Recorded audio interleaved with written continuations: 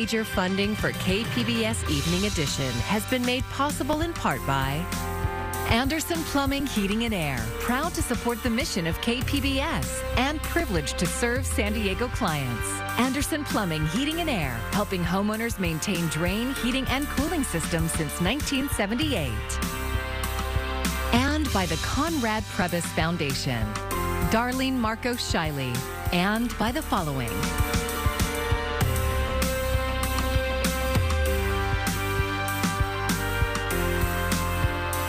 By viewers like you. Thank you.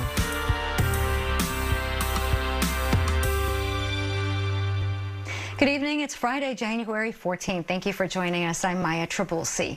They're like gold, those at-home COVID tests, hard to find on store shelves. Well, starting tomorrow, you will be able to get them at no cost or reimbursed through your insurance. KPBS reporter Kitty Alvarado explains how it works. Out of stock uh, all at-home COVID test. Charlotte Roberts and her five-year-old son are on a mission find an at-home COVID test. It's very frustrating. She needs a test for her son who was exposed at school, but finding one is not easy. More people are exposed to COVID and need proof of a negative test to go back to school, work, or just have peace of mind. That's making supplies limited, and waiting in a long line is frustrating too, and results are taking longer. I've heard it's up to seven days to receive results. Fortunately, Roberts was able to find a test, but it was pricey. I kind of thought maybe lucky $14, 25 I did not expect it to be 44 48 Samantha Wick says she feels like she won the lottery when she found a test. I'm really excited to be able to get one. She needs proof of a negative test result to start her new job, but she didn't feel so lucky when she saw the price. At $42, yeah, they're really expensive. And it stinks because it's like to not be able to go anywhere else and then to have to spend money just to be able to prove that you don't have it, I feel like is not really fair. But starting tomorrow, people with health insurance will be reimbursed for eight at home tests a month. They can get free tests at retailers that have agreements with insurance companies. You must save your receipt and submit a claim to get reimbursed at a rate of $12 per test or more if it's a multi pack. But tests must be FDA approved and bought on or after January 15th to qualify. That's awesome. That would be honestly so much more helpful. It's nice. Yeah, it is nice because it's just becoming such an everyday, uh, you know, part of life having to get tested on this. So it, it can get pricey. All of this, of course, depends on if you can find a test at all. Starting Wednesday, the Biden administration will roll out a website where you can order at home tests delivered to you for free. Kitty Alvarado, KPBS News. And as Americans demand answers on at-home tests and masks, new data shows the U.S. is seeing more than twice as many new COVID-19 cases as new vaccinations each day. Reporter Chris Nguyen looks at what the White House is planning now to keep fighting back against the Omicron surge. As COVID 19 continues to surge across parts of the country, many are struggling to get tested. The Biden administration now facing intense scrutiny about its pandemic response. Our hospitals are still under, under great pressure right now. In a letter to the White House, a group of Senate Democrats are asking why the administration failed to take more significant steps earlier to increase access to at home tests, saying the measures have been reactive rather than proactive. Some health experts also echoing those concerns. I don't think at the outset they understood how recalcitrant almost a quarter of this pop of the population of this country would be to getting to getting vaccinated. Starting Saturday, most people with private health insurance can buy at-home tests online or over the counter, then get reimbursed for the cost. The Biden administration says the uninsured will soon be able to order free tests online. The U.S. is now averaging more than 786,000 cases each day, according to data from Johns Hopkins University. What most folks don't realize is that the amount of virus that you're initially exposed to is directly correlated to how sick you get. More details about the president's plan to provide free, high quality masks to all Americans are expected next week. It prevents not only you from spreading the virus, but also prevents you from uh, becoming infected from Omicron. The U.S. now reporting more than twice as many new cases daily compared to new vaccinations. Chris Nguyen, KPBS News. The CDC is updating its masking guidance, encouraging more Americans to wear N95 or KN95 masks. Those masks were considered are considered better at filtering the air, but have been in short supply and therefore prioritized for healthcare workers. Now that supplies have improved, the CDC says more people should use them. There are new prescription COVID treatments at San Diego pharmacies, but they are in limited supply. KPBS health reporter Matt Hoffman says demand for these antiviral treatments is sky high as Omicron surges. New early treatments for coronavirus infections are officially here. Two new antiviral medications are designed to keep those who test positive out of the hospital, but right now they're in short supply. The demand is just through the roof, but uh, maybe it's because the word is now out that this is an incredibly effective treatment. Dr. Christian Ramers is an infectious disease specialist at Family Health Centers of San Diego. He says federal officials are recommending Pfizer's antiviral pill as it offers nearly 90% protection from hospitalization. And the NIH actually puts that as number one. That's the highest uh, recommendation of what we should be using because it can be taken at home, doesn't require an IV. As long as you can get in within five days of the symptoms starting, that's a very, very effective treatment. In addition to the pills, there's also an antibody treatment that must be administered as an IV infusion, but that supply is also very limited. Family Health Centers is getting hundreds of requests daily for it. And we have about 20 slots. So just to know the, the crush of what we have to deal with. Um, and really what we're tasked to do is only pick out the highest risk patients that are going to benefit most from it. It's like being graded on a curve. You are being put up against the other, you know, 14,000 people in San Diego that have newly diagnosed COVID. And obviously those that are immunosuppressed, over age 65, un, um, unvaccinated or with underlying medical conditions go to the top of that list. The County of San Diego is helping distribute these early intervention treatments. So we are hearing from our federal government that the allocations will continue to increase for these scarce medications. Dr. Jennifer Tuteur is the county's deputy chief medical officer. She says if you've tested positive, have mild to moderate symptoms, and think that you need the treatment to contact your doctor quickly. That way you can determine which one might work for you. They should not go to the emergency room. The emergency rooms are very busy taking care of people with emergent conditions right now. And the whole point of these medications is to help people avoid the hospitals. Officials say they are seeing very few boosted residents needing the treatments. If your health provider does not offer the antibody infusions, you can try making an appointment at a regional site by calling 619 685 2500. The antibody infusions take about 30 minutes. Matt Hoffman, KPBS News.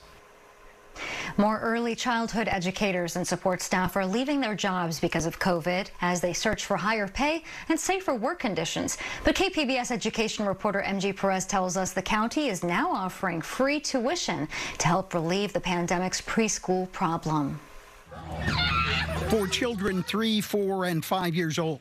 Making a marshmallow snowman and digging up sand on the playground provide adventures and learning. Here at the St. Columba Preschool in Serra Mesa, there's an enrollment of more than 50 students as young as two and a half. They're so young, they have so much energy and so much positivity.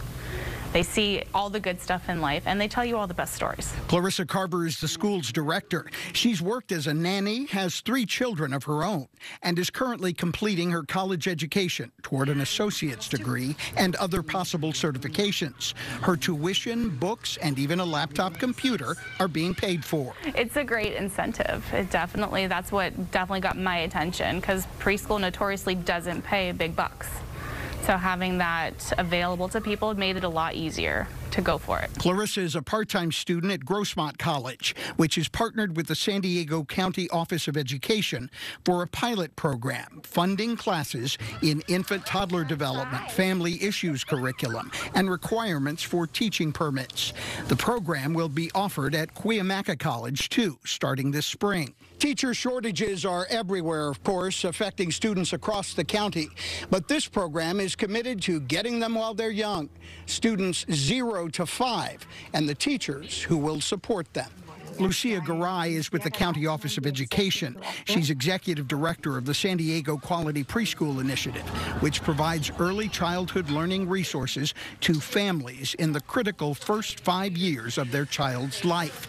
Now it's time to give the helping hand to essential workers on these front lines. We are making it much more accessible for them to consider their career pathways and to really consider that early learning and care is a career. It's not a default. And we need to give that importance.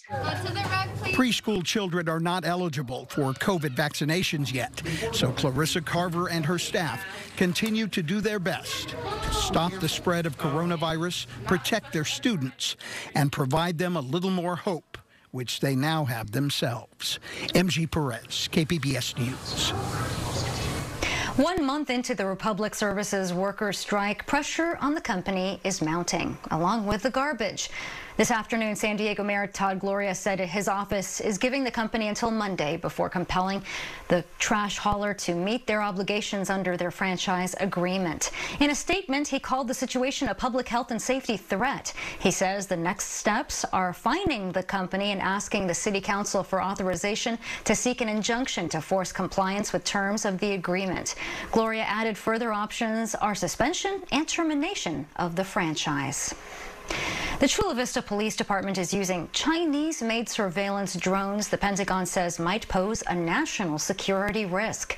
KPBS's Amita Sharma spoke to privacy and technology experts about what that might mean for the city located seven miles from the U.S.-Mexico border.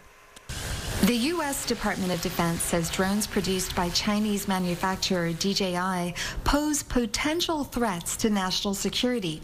Eight of the 10 Chula Vista Police Department drones are made by DJI, according to the city's website. That is a serious problem, says Albert Fox Cahn, who is executive director of the New York based Surveillance Technology Project. When a product is so bad for privacy that even the Pentagon is refusing to use it, I think that should be raising alarm bells. The drones are central to the police department's public safety strategy, and data from them is run through its new real time operations center. The Chicago based tech conglomerate Motorola Solutions provides key software for the center. In its contract with Chula Vista, Motorola Solutions disclaims any liability for DJI's use of the data it collects through the drones. KPBS reached out to the Chula Vista City Council and Mayor Mary Salas, who approved the contract, but they refused to comment. Also refusing to comment were City Manager Maria Kachadoorian and City Attorney Glen Googins, both of whom signed the contract with Motorola. San Francisco lawyer Will Cooper specializes in contractual disputes. He says there's good reason why Motorola would want that limitation on liability. The more risky it is, the more sensitive it is, the more likely the parties to that agreement are going to want to get the most protection they can. DJI is among the world's leading drone manufacturers, accounting for more than half of the global market. But in recent years, the company has been flagged by several federal agencies for security reasons. In 2017, the U.S. Homeland Security Department stated that DJI's science and technology is providing U.S. critical infrastructure and law enforcement data to the Chinese government. Chula Vista began its drone program in 2018 and purchased DJI drones as recently as 2020. People don't realize the depth of Chinese espionage and the the fact that they use any opportunity. Jim Lewis is a researcher at the DC based Bipartisan Center for Strategic and International Studies. He says the U.S. is engaged in the biggest espionage battle with China it's ever had. The way people engage in espionage has changed. It's moved largely to, to technology and digital devices. So, how could the Chinese government get data from a drone in Chula Vista? Technology experts say it starts with the fact that DJI can still access a drone's software even after it's been sold. Lewis says just like your cell phone carrier has access to your data, DJI and by extension the Chinese government could view drone footage by tapping into the software when it's being updated. Chula Vista's contract with Motorola says the police department requested the DJI software. DJI declined an interview request, but referred KPBS to a statement it made last year. In the statement, the company said it had done nothing to warrant the suspicion. Lewis says DJI company representatives have told him it does not turn over data to the Chinese government. It doesn't matter because they don't have the right to say no in China under Chinese law. Amita Sharma, KPBS News. Your monthly San Diego gas and electric bill may come with a bit of sticker shock. SDG&E raised rates in January with the average residential electric rate up 7 to 8 percent. Natural gas price hikes are even steeper, a trend seen nationwide. Residential gas customers are paying 24.6% more than a year ago. Higher natural gas prices have also contributed to rising electric rates since SDG&E uses gas to run some of its power plants. Milk, bread, meat, produce, and other basic goods wiped clean from grocery store shelves across America. And as Isabel Rosales reports, severe weather in the forecast threatens to make the problem even worse. Sleet, ice, and heavy snow. Another major winter storm set to slam into much of the eastern U.S. Raising alarms, it may pile on more setbacks for grocers.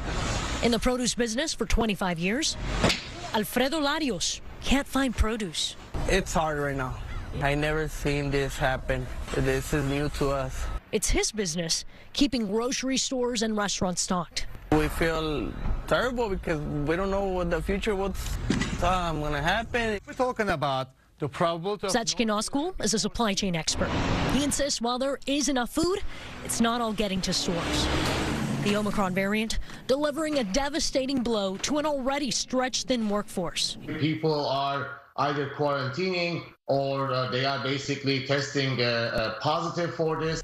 And Americans are changing up how they eat. Some folks are just deciding to eat more at home. And dangerous weather is crippling major travel routes. Last week, a backup on I 95 left truck drivers stranded for almost a whole day. I think I 95 being shut down for 20 hours is pretty bad. Jose Sandoval has been trucking goods for a decade. I start at 4 in the morning. I go home at 12 o'clock or 1 o'clock because I still not finished my, my route. He sees the shortage of drivers like him as dire. That's one thing that we need people to work, but they don't want to work. It's not just grocery stores struggling. Samantha Segura's juice business is booming for now. It's a new year, new me. But with produce harder to come by, they're not bringing in the products um, quick enough. Her costs are going up. Before, I used to get a box of grapefruit for like $13, and the price went up to 25 or 35 sometimes. Oskul predicts some disruptions from this weekend severe weather. Again, I want us to tell the consumers to be a little bit more patient. But forecast shoppers will see relief in the spring. I'm Isabel Rosales reporting.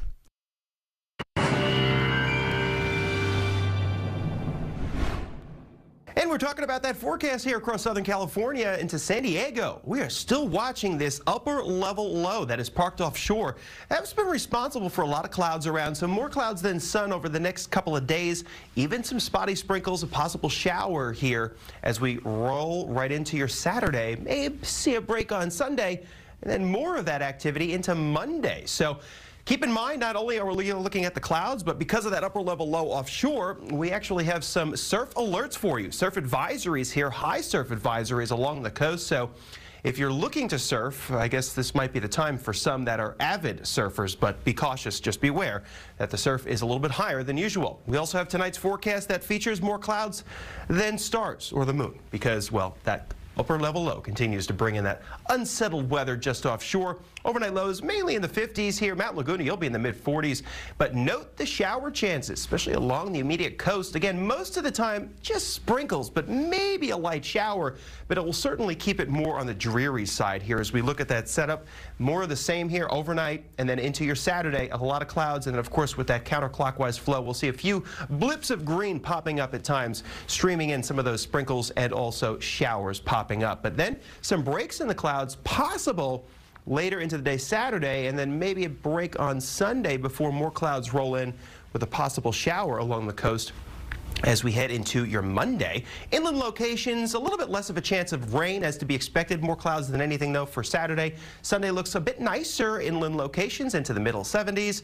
How about the mountainous regions? We're looking at those temperatures to be into the 40s overnights into the 30s. It's stray showers possible as we head into Monday. But again, conditions to remain on the dry side as we head into the desert, mid 70s, right into your Monday. Reporting for KPBS, I'm meteorologist Chris Nallen. More than 400,000 student loan borrowers will be getting some debt relief. Loan servicing company Navient will do so as part of a $1.85 billion settlement agreement. It resolves litigation brought by several state attorneys general over unfair practices and predatory loans to students who were unlikely to be able to pay them back. National Guard troops in recent years have been called to serve in many ways that they didn't have to in the past. KPBS military reporter Steve Walsh says the U.S. House recently passed a bill that will help them qualify for better benefits. In the past 18 months, the California National Guard has sent hundreds of troops to fight wildfires. Guard both the state and U.S. Capitol, staff food banks, and starting this week, help run COVID test sites. But they don't always qualify for the same benefits as active duty service members. A bill by Congressman Mike Levin would make it easier for them to qualify for the GI Bill, which helps pay for college. Uh, the reality is, we're expecting a whole lot more from our Guard and Reserves. The, the data is overwhelming uh, to that effect. Uh, and we just want some basic fairness about the way those educational benefits accrue. Dating back to the start of the wars in Iraq and Afghanistan, Guard troops have assumed many of the same risks as their active duty counterparts, but pay and other benefits could be very different. Under this legislation, every day that you're engaged in readiness training, every day that you are serving would count towards GI Bill benefits. Right now, Guard only have access when they're called up to active duty by the federal government. We have, have examples of some uh, special operations uh, uh, Guard where their two years of training uh, haven't counted at all. The bill passed the House in a bipartisan vote. 287 to 135, with all Democrats and 68 Republicans signing on. It now moves on to the Senate. Steve Walsh, KPBS News. With a federal mandate for large businesses struck down, what's the path forward for companies in getting their workers vaccinated? SDSU's Miro Copic has the Friday Business Report.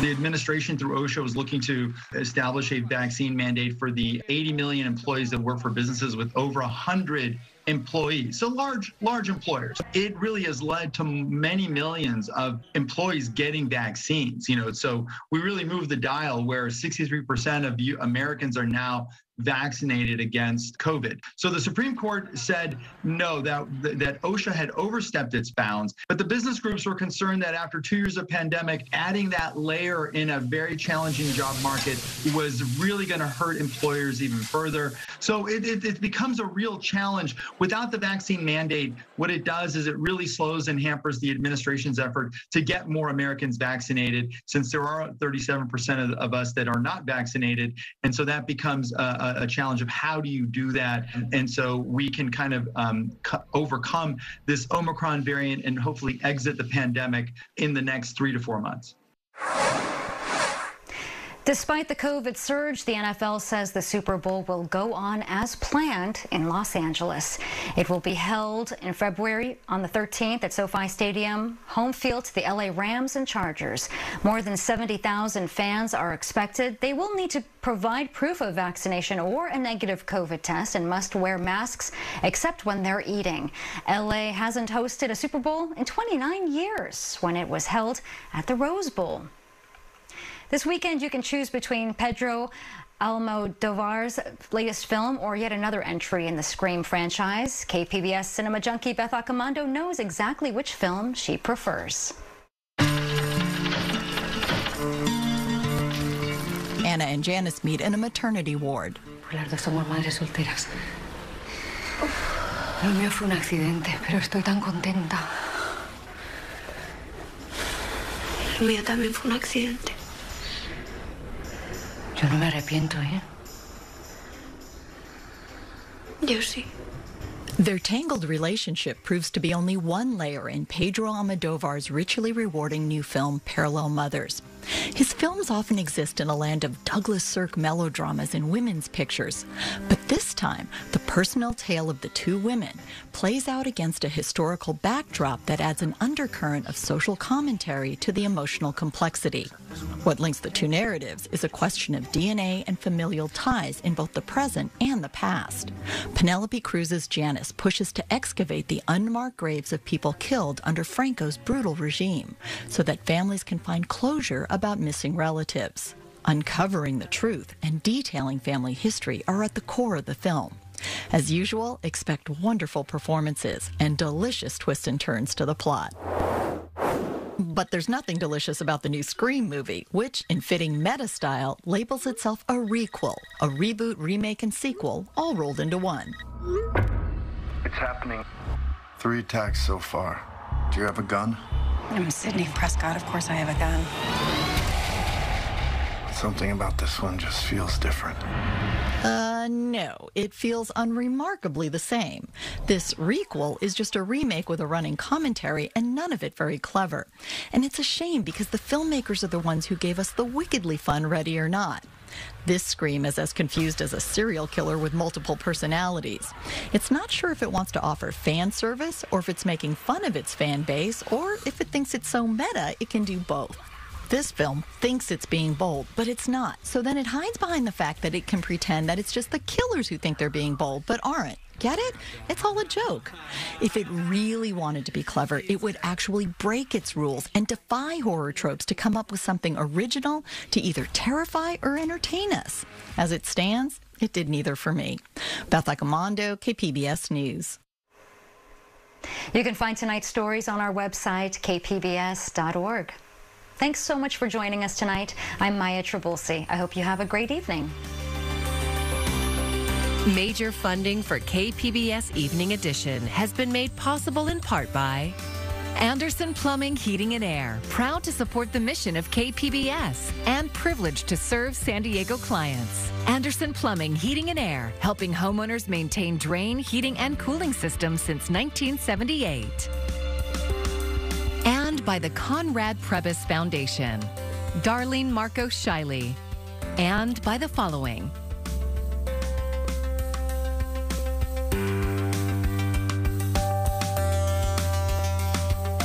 And by viewers like you. Thank you.